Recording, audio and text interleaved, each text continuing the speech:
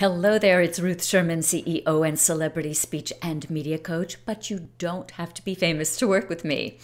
I had to go into New York City for an event last night. It was something I was really looking forward to. Anyway, um, I drove in, which was kind of dumb because, as you may know, the Super Bowl is taking place in and New York has pretty much set aside Times Square, which is right where the meeting was, to um, have this big event, this big fun event with bands and, and so forth. They're celebrating the Super Bowl.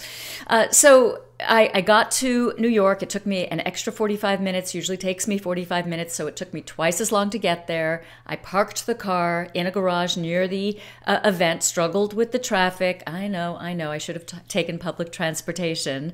And then I got to the venue where the event was supposed to be and found out to my chagrin that the actually the event had been moved. I had not received a notice, so I was not a happy camper.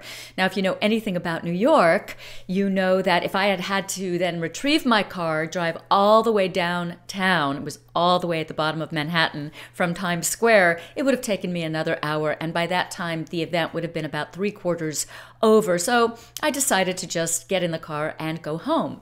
So, I, of course, I was feeling like, ugh, you know, ugh. I was feeling worse than that. But um, I got to the garage, and who should be standing there next to me, waiting for his car? but the amazing and gifted genius Steven Spielberg. Now, even I have a hard time not staring. And of course, I know being in the celebrity world that you really want to give these people some space. Nobody else was approaching him. I certainly wasn't going to go up to him and say anything. I didn't want to intrude on his valuable private space. You know, these people just want to be treated like like um, like regular human beings, even though they're not.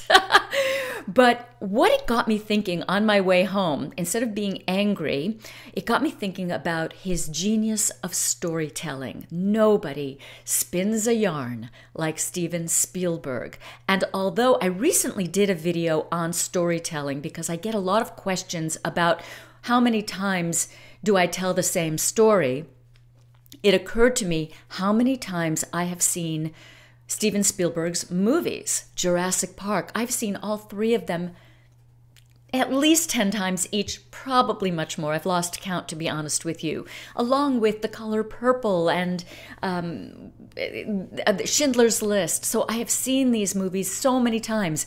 I know what's going to happen in these movies. I know the outcome. I know when to hide my eyes. I know when um, I know when it's going to be funny. But I still love seeing them. I love going on the journey with them, with him, and this is what happens when you tell the same story over and over again, provided it's a good one. It's got to be good, all right?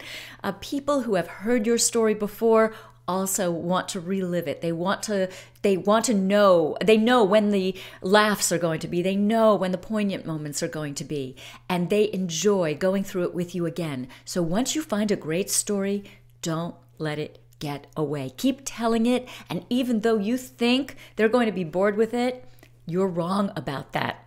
So, if you want to learn more about great storytelling, hop on over to ruthsherman.com where you can download my celebrity video charisma secrets absolutely free.